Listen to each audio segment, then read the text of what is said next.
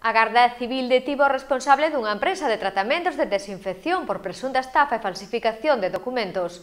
O home está acusado de estafar a unha trintena de empresas e organismos públicos das provincias de Pontevedra e A Coruña cos informes de auga e lesionela.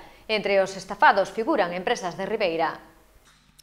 No marco da operación denominada Legional, a Garda Civil vende de ter o responsable dunha empresa de tratamento de desinfección e control de pragas por un presunto delito de falsidade de documentos. Durante a investigación, os asentes do Seprona da Garda Civil de Pontevedra confirmaron que o home non remitía ao laboratorio as mostras de augas recollidas e presentaba informes falsos das analíticas. A estafa afecta a unha trintena de empresas e organismos públicos das provincias de Pontevedra e A Coruña. A investigación comezou no mes de outubro tras ser presentada unha denuncia por un concello da provincia de Pontevedra.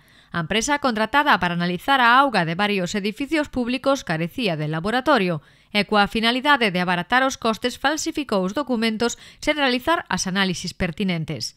Un equipo mixto de traballo entre o Seprona e o Servizo de Control de Riscos Ambientais da Consellería de Sanidade da Xunta comezou a investigar a situación.